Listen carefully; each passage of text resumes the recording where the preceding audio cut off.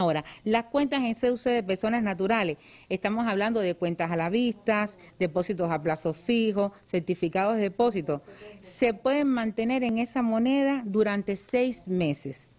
Y cualquier extracción de efectivo que se haga de esas cuentas tendrá que ser en CUP, que es la moneda que a partir del primero de, enero estará como la moneda con que se, que se harán todas las operaciones en el territorio nacional. Entonces, en esas cuentas en CUC, que las personas podrán mantener durante seis meses, no se pueden hacer depósitos en CUC en esas cuentas. Es decir, porque esa moneda deja de existir a partir del día primero. Transcurrido estos seis... Para, entender, ministra, eh, usted tiene CUC a lo mejor ahora disponible.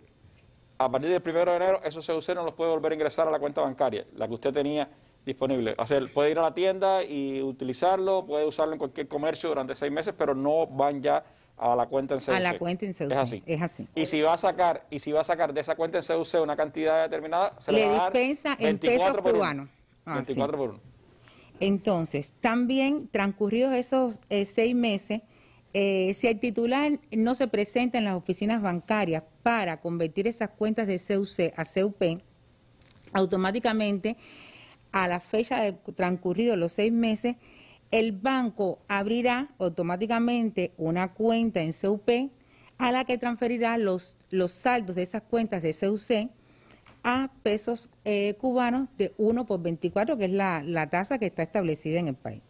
Ahora, el banco ha diseñado dentro del la tarea de ordenamiento un incentivo a que las personas no acudan, a partir de que la noticia se informó a las oficinas bancarias, a hacer el cambio de cuenta de CUC a CUP, porque automáticamente, pues, pasados los 180 días o seis meses, eh, el banco se lo hace automáticamente.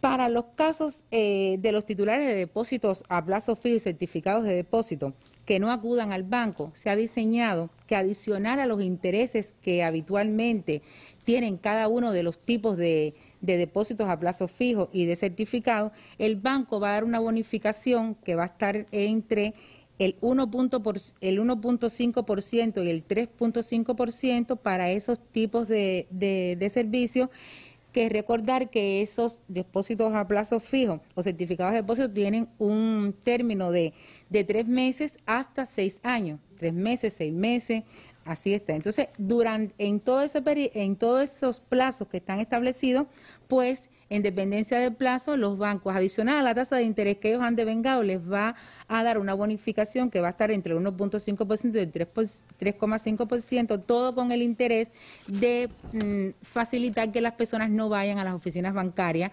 a hacer las colas y a modificar su, su cuenta de CUC a CUP.